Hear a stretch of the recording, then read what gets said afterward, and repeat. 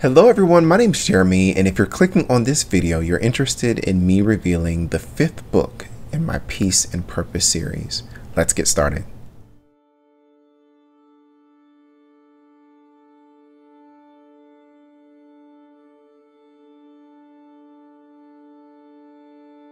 So as you've seen, I've already put out four books. The series is consistently growing and I am glad that I remained consistent in trusting the process, releasing to receive, and chasing purpose. The foundational book, my first book, A Gift of Peace and Purpose, A Survivor's Journey, was going to be the only book. And as I reflected and wrote more in that book, I realized that I needed to expand on the chapters that I wrote within that book. This human experience that we're having is so um, deep and rich and it takes a lot of time and effort and energy to really break down the human experience in a way that is comprehensible or in a way that the mind can fathom. With that being said, this book is about what happens when you reach the end of your journey of peace and purpose.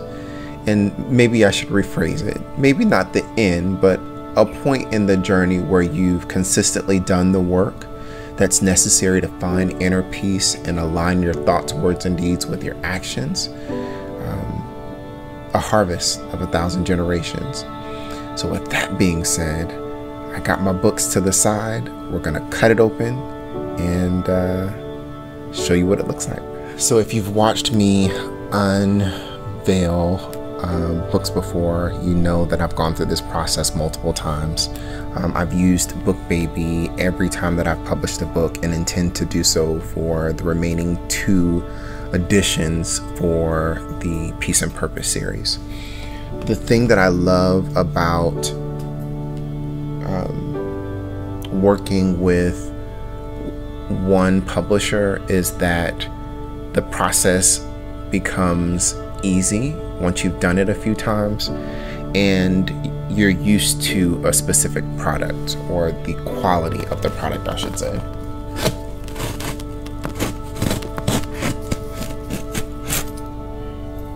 I'm gonna put this down. You may hear my little friend in the background, or my little brother, I should say. He might make an appearance. We'll see how that goes.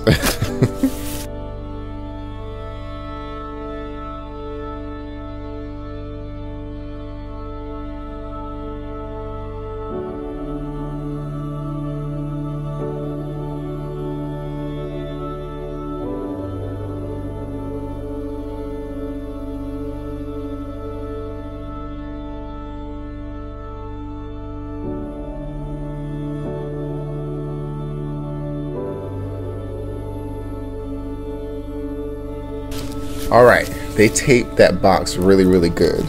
So let's turn it around so I can keep my address safe. So um, again, like the other videos, um, you go through a series of uh, approvals in the form of proofs to approve and or reject the final copy of what your book would look like. So I've seen it on the computer, but again, this is the first time that I've seen the physical book itself. So with that being said,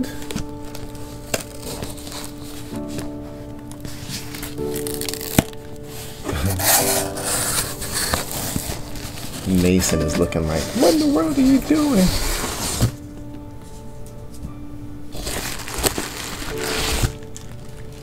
They really packed this very, very well. There we go.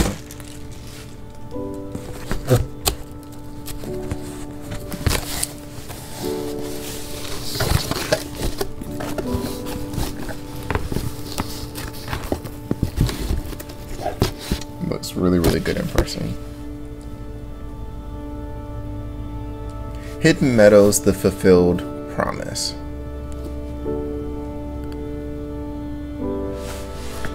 So,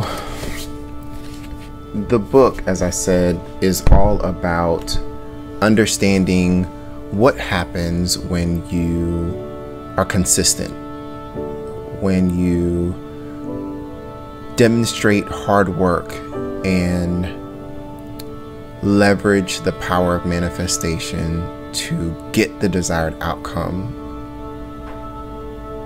with the focus of chasing your purpose, you get a harvest that will not only take care of you, but take care of the generations behind you. So, with this book, what I did was I went back through the other books that I'd written and I'd broken it down.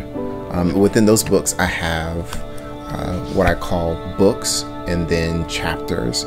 So, the books are really constructs and the chapters are um, components of those constructs. So, for example, one of the books or constructs is the book of life. And within that book of life, I break down chapters or components of the book of life. And then I give a reflection on what it is. And for those that have read my previous books, you'll notice that in this book, it's in a different order. And that's because I wanted to ensure that there was a timeline that made sense from beginning to end, from birth to death. So that way, an individual who's reading this book can understand the bigger picture and where they might fall on their journey of peace and purpose. So I am very glad that everything turned out the way that it was supposed to. Now, the trick is trying to get all of these together at the same time, which I often struggle with that, but I practiced before I got started. So here we have all five books together.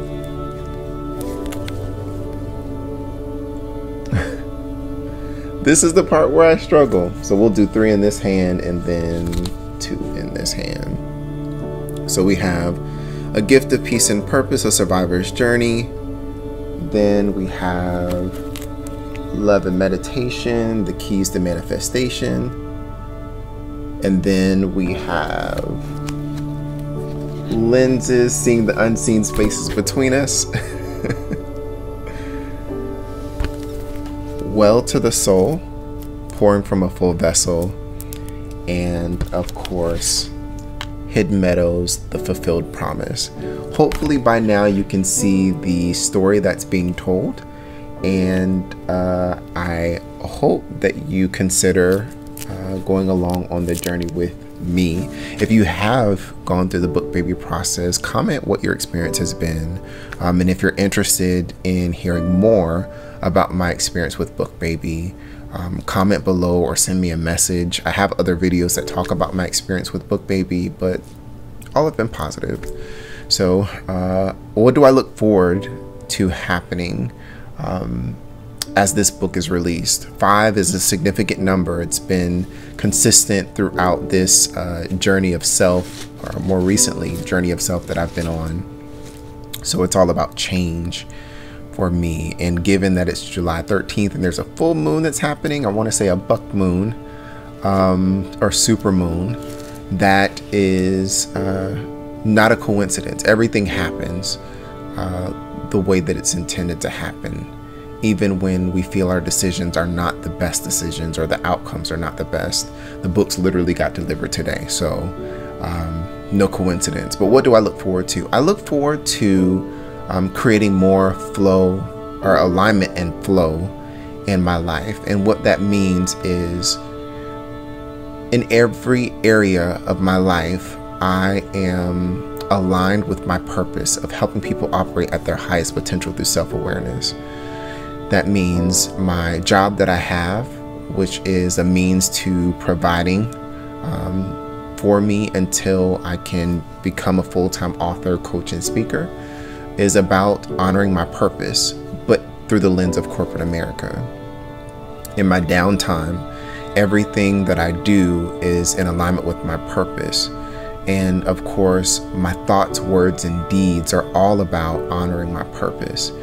When I meet strangers, when I meet up with friends and family, everything is about honoring my purpose, or at least looking through the lens that will help me honor my purpose because circumstances and people often bring about lessons or confirmation or validation of the paths that we're on. Um, I hope that what you take away from this video is the importance of consistency, especially when you have identified your purpose in life, whatever it may be, in being of service to people using different methods or mediums to honor your purpose, but being consistent in doing whatever it takes to make your purpose a reality.